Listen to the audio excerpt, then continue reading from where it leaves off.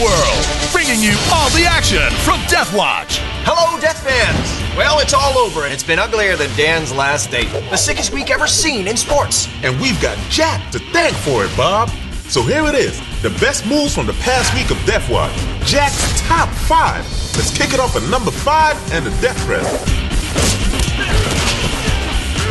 Squisherama! Into number four, and Jack's up against Vampire Queen Elise and her barrage of bloodsuckers. She's got a lot of kills in this game, but Jack says to hell with reputations and back to hell with you. Nasty. That's no way to treat a lady. Hurtling in at number three, and we're into another bloodbath challenge. This time it's Jack on the tracks with the Rocket Reamer. He goes two, three, four, five, then wait for it. Oh, In at number two, Jack unleashing his mojo in the dojo. Amazing creative kill combo. And now you're number one, and it has to be Jack's epic tussle with the big boss of Asian Town, the smashing sumo Yokozuna. Not an easy battle. Jack takes some big heat, but he's not going down that easy. He fires up that chainsaw, and you know what's coming.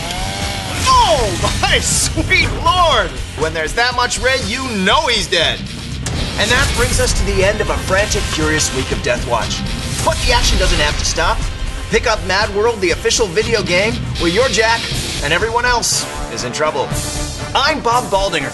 And I'm Dan the Juke Jubery. Signing off. You take care out there.